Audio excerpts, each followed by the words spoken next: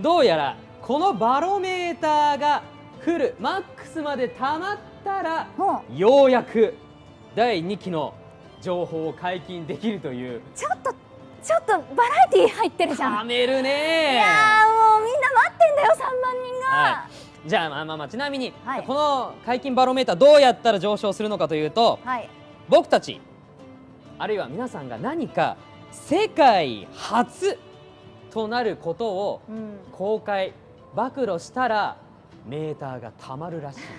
結構果てしない戦いですけどね。長いですよ結構、と。はい。うん、えー、皆さんねあのツイッターで謎のものが流れてきてりましたね。何のこっちゃと思ったと思います？はい。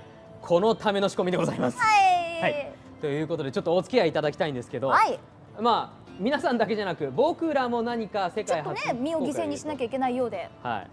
まあまあまあリゼロの大体特番は何かしら身を削ることがあるんで。よくね削ってますよね、世界初。いやでもこれすごい頑張って考えてたんだけど結構考えました私たち意も外とないんだよな世界初。あらあるんですか？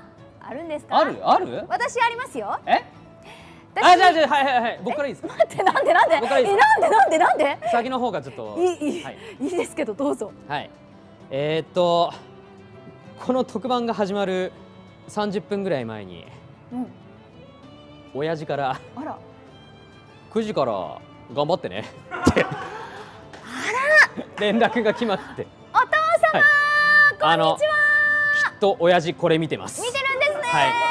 という世界初情報。息子が3万人の前で頑張ってますよお父さ 親父息子頑張ってるよ。んおなんか、はなんかいいぞ。しっかり MC やってるよ。いいぞ。はい。いいぞいいぞというはい勇姿を見せれたということで。温かいエピソードですね。温かいかこれ。すごい無理やりひねり出しただけなんだけど。すごいいいと思いました。おじゃあからの？私この後言うのすごいなんですけどいやいやいや実はですね私、は最近ちょっと衣装にですねスリット入ってるんですい。やーああの笑ってよ笑ってよ笑いやー勤勉ですね。はい。はい。もうありません。